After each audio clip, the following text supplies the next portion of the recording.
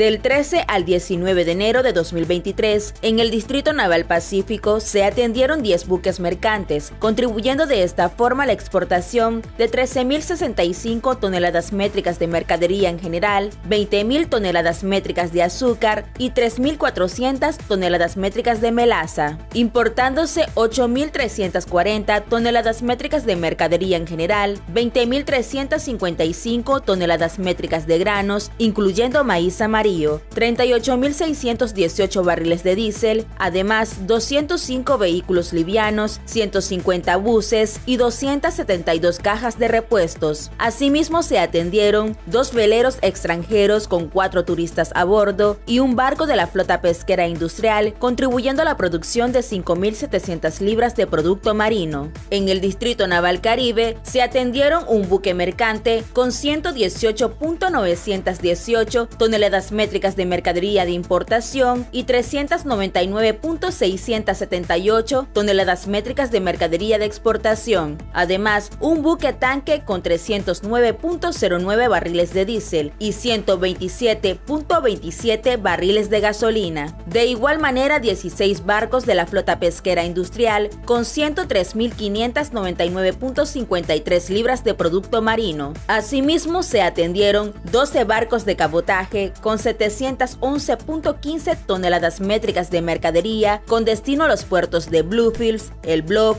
Corn Island y Cayos Misquitos. A través del Destacamento Naval de Aguas Interiores, comandante Hilario Sánchez Vázquez, se atendieron 405 ferries y embarcaciones. En Granada se atendió un ferry de carga con 93 pasajeros con ruta acuática hacia el puerto de Altagracia, Isla de Ometepe y San Carlos, Río San Juan. En Moyogalpa, Isla de Ometepe, se atendieron 119 ferries de transporte de carga con 8.112 pasajeros con ruta acuática hacia el puerto de San Jorge. En San Jorge Rivas se brindó cobertura a 117 ferries de carga con 6.380 pasajeros con ruta acuática hacia la isla de Ometepe. Y en San Carlos, Río San Juan, se atendieron 168 lanchas con 5.166 pasajeros cuyas embarcaciones cubren la ruta San Carlos, El Castillo, San Juan de Nicaragua.